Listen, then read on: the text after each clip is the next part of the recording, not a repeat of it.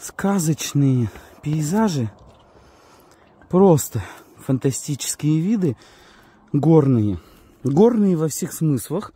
Я не случайно, извините, так тяжело душу, потому что мы лезли по вот этой отвесной скале. И кто-то скажет, зачем вы сюда лезли? А лезли мы к грандиозному, вот туда дальше полезем, полигональному сооружению. Но сейчас уже обнаруживаются признаки этих этой обжитости этого места. При этом никакой дороги, ни намека на дорогу, ну и вообще адовый подъем.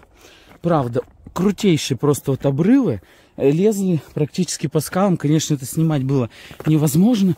И вот валяется уже вот этот вот здоровый блок. Сейчас мы к нему подойдем. У меня новая камера. Спасибо, кто помогает и поддерживает. Вот. Это очень как здорово, что мы как-то общими усилиями удается все это дело приобретать.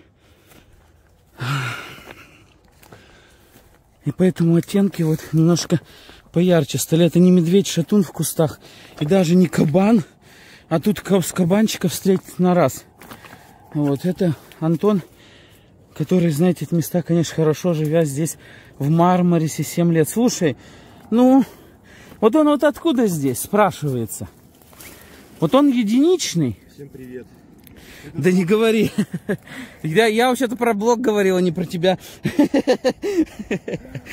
Вот что откуда, да? Делает? Вот что он здесь делает. Вот он единичный, понятно, что он даже не вряд ли прилететь. Единственное, он мог, конечно, ну не, настолько прокатиться, это вряд ли с верхов. Но масштабность по одному уже блоку, предполагаю я, и даже боюсь, что тогда мы там увидим. Так, Говорят, красота тебе, гуляешь по руинам. А здесь, когда лезешь через эти колючки, а у нас началось на месяц раньше жара, и вдобавок ко всему все зацветет, поэтому кашлять, чихать будем от души. Сейчас раз зацвело в этот раз в Турции. И вот по такой... Это еще, слушай, а почки-то уже скоро вот эти все деревья да распустятся. И будет, а видимость упадет и будет ад в плане цветения. Ого. Так, ну я сейчас... Ага. Уже началась полигоналка, я так понимаю. Ну, там уже непосредственно. Э, мы опять напомним, обратим внимание, точнее, что у нас полигональные руины находятся в исключительной труднодоступности, куда забраться нормально нельзя. Это что, блок отделяли? Ты про это? Нет. Вот это. А, вот это, а да. это, да? Да, да, да, да. Ого.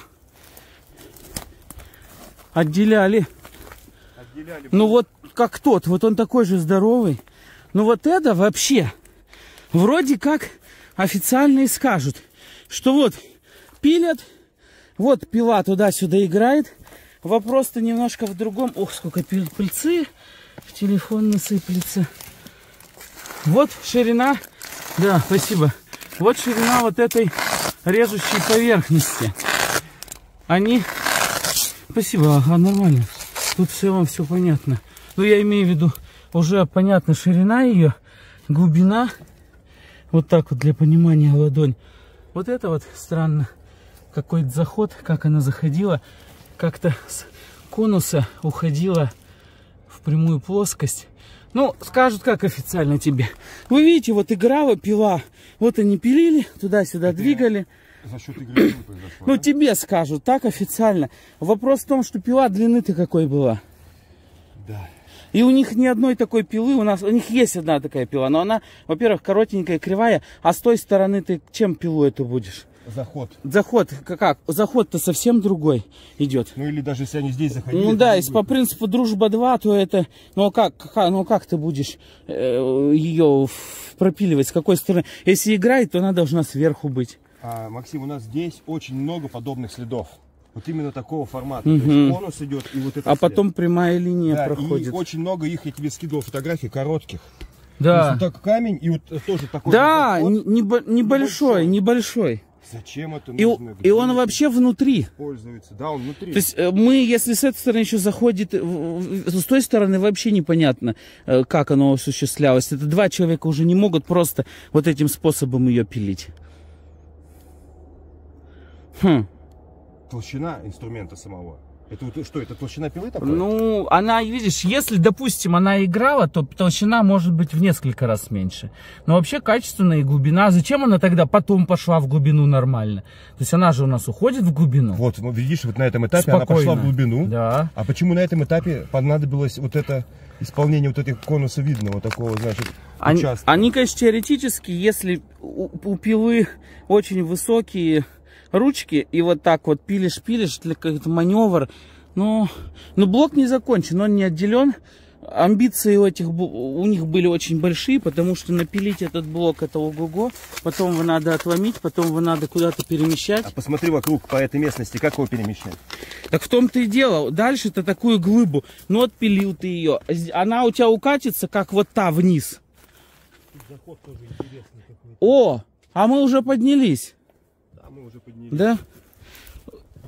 Ну вот, и вообще вот это, вот этот ландшафт, я имею в виду, не ландшафт, а плоскость этих скал, какая-то она, это же не слоистый материал, который так отслаивается у нас. Это же известняк, он же у нас так не слоится. Хм. То есть они уже снимали сверху, как-то отделять надо было. Дальше вопрос транспортировать эти блоки. Ну вот по тому нижнему блоку его как будто отпилили, и он мог, ему он мог упасть. Вот это уже ведь... Вот мы подошли к обработанным блокам. Ну, короче говоря, стройматериал для этого же сооружения брали здесь же. Это можно зафиксировать, это, это понятно. Не завершили этот блок. Тоже почему не завершили? Столько трудов приложить. Ой, какая красота. Какая красота.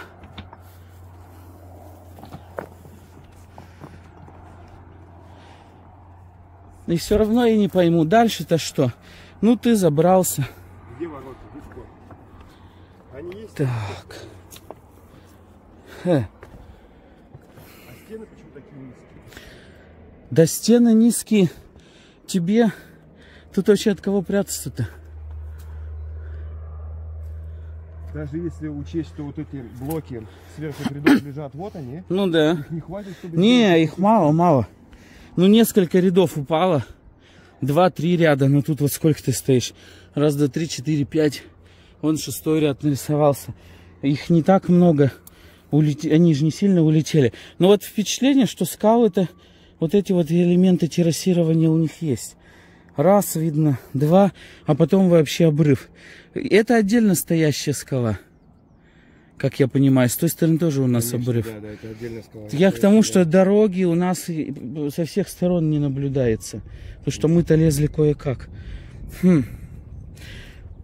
Названия, конечно, тоже нет. Никакого названия. Да какое тут название? Ну, оно сказать, что и, и не античка, и вроде и рядовость есть, и не полигоналка. Вот интересно. Да, разные. Ну, при, принципы-то вот какие.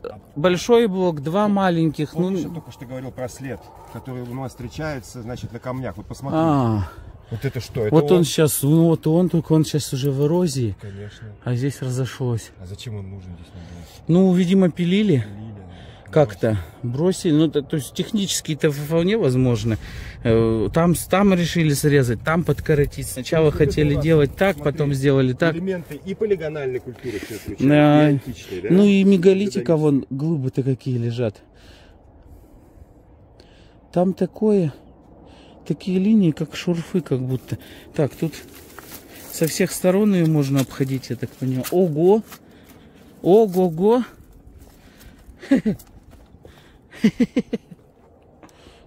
Вот опять. Эта скала выровнена, так против солнышка, конечно, стоять не очень. Ну вот вопрос, эта скала выровнена у нас искусственно или это какая-то природная особенность, на которой уже установлена. Но то, что установлено по тому же полигональному принципу, это очень четко видно. То есть оно интегрировано в скальное основание. Оно у нас, наверное, двустенное. Отсюда я не вижу, надо сверху посмотреть. Или это одностенная платформа. Но это даже не стена, это же платформа, я так понимаю, сделана. Там дальше ровная поверхность да, должна быть. То есть это, получается, они платформу делали, поэтому она высокая не будет. Платформа на вершине горы, в которой нет подъема какая мысль сразу, да, начинает приходить? Если дороги нет, намека на дорогу нет, ландшафт не предполагает дороги, а наверху посадочная платформа. Ну вот э, это же, это же повсеместно. Мы же встречаем такое где только в Хатуше. То же самое. Полигональные платформы на вершине отдельно стоящих гор, которым нет ни, ни ворот, ни подъема, ни даже ступенек. Очень интересный объект. Но его все равно можно в категории относить полигональных, потому что оно по тому же принципу собирается, как и вся полигоналка. Вот, э, я познакомился с концепцией твоей, да, э, про полигональную и античную кладку, значит. Да. Это очень интересная концепция, на самом деле, имеет она под собой основу. Но вот эти объекты, они э, как-то не вписываются? Ну, много что, не, не тоже немного, но у нас есть э, в Кюанеае, тоже здесь, в вашем краю сравнительно, есть театр, который полигональной кладкой обнесен. Совершенно классический вот античный театр с полигональной стеной. Есть акведук здесь у вас, который акведук вроде как каменный, как? да, а лежит на полигональном основании. Да. У нас есть в Мерсине, э, он полностью полигональное здание, но выделено как храм в Ант вариантах, то есть выступы классические вот у, э, в официальной архитектуре называется храм в Антах с двумя такими как контрфорсами выступами. То есть один из самых древних Я по архаике храмах. Да, Читарион. Да, да, да, да, да, да, да. А стена вся полигональная. В том и даже колонны лежат. То есть у нас есть какой-то промежуточный этап, он не такой частый но он кое-где обнаруживается. У нас есть полигоналка в Риме, на которой, но там просто надстроено на ней. Mm-hmm. А вот здесь-то, так, ну ладно, задержались. Я знаю, что хочу. Вот там вот просто трещины.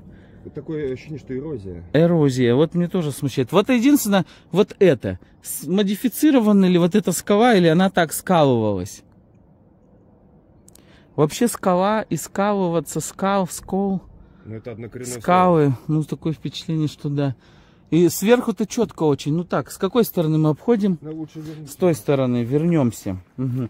Вот, а дальше, сама форма блоков, они полигональны. Почему это важно? Трапециевидность формы тоже имеет значение. Вот она. Он по периметру с лицевой части у нас э, идет прямоугольник, а внутри у нас идут трапециевидные формы. Это четко полигоналка. Она друг к другу упирается, это дополнительное крепление создается. То есть все-таки вот это, подобные элементы, они могут быть, их можно, я бы относил к полигоналке. Потому что она больше полигоналка, чем античность. В античности фундамент, вот этот подземный арочный зал помещения есть. Ух ты. Красота, говорят, ходишь, гуляешь, а когда здесь по ответственным скалам приходится прыгать, это еще одной рукой держась. Посмотри, Максим, размер блока вот этого. Хорошо, хорошо, что ты стоишь, потому что видно сразу, когда рядышком человек. Вот об этом. Ну, он, да, он, и я думаю, а это, вот я думаю, тот под ним тоже основательный. Угу. Но он, видишь, практически платформа, и каждый уровень дополнительно еще э, платформой является. Поэтому и блок, это же цельный блок идет. Вот это все, это все блоки, да, вон они попадали. Не, это очень интересно. Кто-то создал на вершине горы, создает вот такую... Сейчас посмотрим еще какие сооружения тут есть. Но пока вот ряды платформ. Интегрированы четко, очень видно в скальное основание. Еще потом 360 сделаем. Сейчас хоть осмотреть. Слушай, какое удовольствие. Просто глазу. Какие виды. Да невероятно. Это залив Гекова. Да не... Залив Гекова, да? Да, керамический залив. Керамический залив переводится? Да, а в чем название? А, керамика Сколпус, античное название. Керамика Сколпус. Гекова. Ага, ну тоже керамический. Нет, да? переводится с турецкого нет. Уже нет, просто залив. Полей. Залив небес... небесных полей. Ну, типа того, да. Э, э, олово. Почему керамический залив? Надо... Это... хм. Вот меня, знаешь, сейчас что смутило? Ну, назва... этимология, конечно, тоже интересна. На основании чего давали слов, топонимика. Вообще, это толщина стены была. И она в чистом виде полигоналка. И она метра полтора минимум. Она, думаю, даже сможем. Сейчас, сейчас я рулетку достану. Вот она начинается. Вот она разрушена. Тогда опять у меня, уважаемые знатоки, внимание, вопрос. Зачем тебе в неприступном, преступной скале, куда ну хоть какое войско, тут просто вот кидай в них камни и прибьешь, он даже не поднимется. Запасись горой камней и кидай камни. И никто в тебе ничего не сделает. Здесь подняться невозможно. Зачем тебе здесь создавать э, вот эти стены, которые пробить все равно нельзя? Даже современным оружием. Да. Э, Подержи, пожалуйста, я сейчас достану сразу рулетку, и мы реально посмотрим. Это одна из самых больших вообще толщ- то- самых толстых стен, потому что даже в Хатуше, ну, в Хатуше мы замеряли, мы находили и метр сорок. Так, грехи наши тяжкие. Вот она здесь, вот полигональный блок, вот он сюда уходил, вот он здесь крепился. Вот они два трапециевидных блока, каплевидных, и они немножко друг друга вот так вот упираются, это создает стена, это создает и дополнительную прочность. Они э, взаимо э, друг другу. Так. Слушай, ну это даже хатушу превосходит. Это 160. Вот тут вот сейчас в этой части контрольно. Вот отсюда сделаем. Да. Ну вот, 155, ну это очень много. Зачем тебе 155 сантиметров, 150 э, сантиметровую ширину, толщину таких стен из двух рядов мегалитов? Это тот же полигональный принцип. Спасибо. Здесь есть толще стены. Под 2 метра. Еще толще. Мгм. Невероятно. Так, пошли в какую сторону? Вот,